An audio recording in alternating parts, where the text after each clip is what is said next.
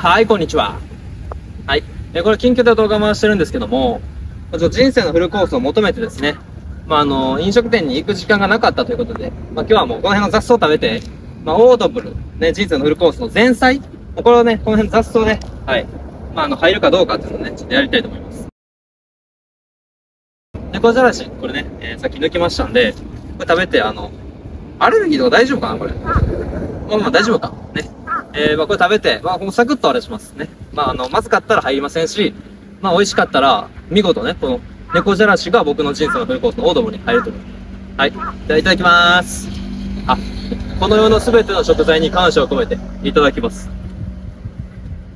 うわぁ。何これ。え、これ寄生虫とか大丈夫かなほんま。いただきまーすって言ってなかなか食わないんですよ。この辺の度胸ですね。この辺ちょっと汚いんで、新しいのお願いします。はい。この辺ね。はい。